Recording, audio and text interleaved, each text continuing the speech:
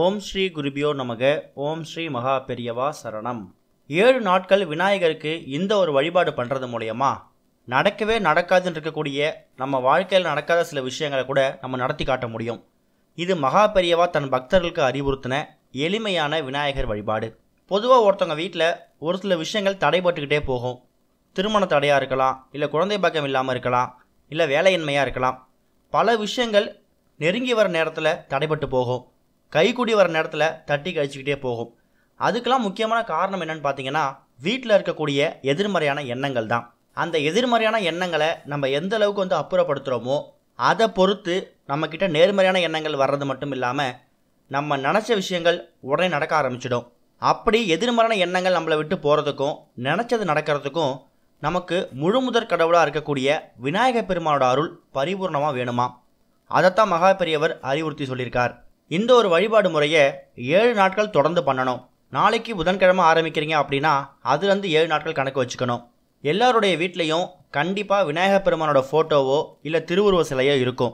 அப்படி இருக்கக்கூடிய விநாயகர் பெருமானுக்கு மஞ்சள் குங்குமம் பொட்டு வச்சு அவர் முன்னாடி ஒரு தீபம் ஏற்றி வைக்கணும். அது நெய் தீபமாக இருந்தாலும் சரி நல்லெண்ணெய் தீபமாக இருந்தாலும் சரி அது உங்கள் வசதி கேட்டதே.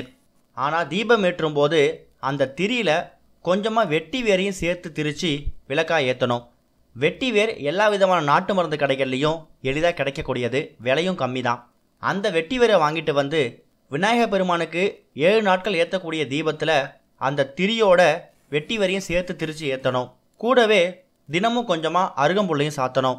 முதல் நாள் சாத்தி வச்ச அருகம்புல்ல மறுநாள் எடுத்து ஓரமாக கால்படமாக வச்சுட்டு புதுசாக இன்னும் கொஞ்சம் அருகம்புல் வச்சு அன்னைக்கான வழிபாடை செய்யணும்.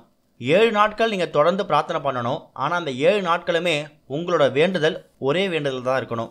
ஒன்று வேலை கிடைக்கணும். இல்லை திருமணத்தடை நீங்கணும். இல்லை குழந்தை பாக்கியம் உண்டாகணும். எது வேணால் இருக்கலாம். நடக்கவே நடக்காதுன்னு நீங்கள் நினச்சிட்டு இருந்த ஒரு சில காரியங்கள் நடத்தி காமிக்கிறதுக்கு இந்த ஒரு விநாயகர் பெருமான் வழிபாடு உங்களுக்கு ரொம்ப கை கொடுக்கும். தினமும் காலையில் குளித்து சுத்தபத்தமாக இந்த ஒரு விஷயத்த வழிபாட தீபமாக ஏற்றி வச்சு விநாயகர்கிட்ட உங்கள் வேண்டுதலை வைக்கணும்.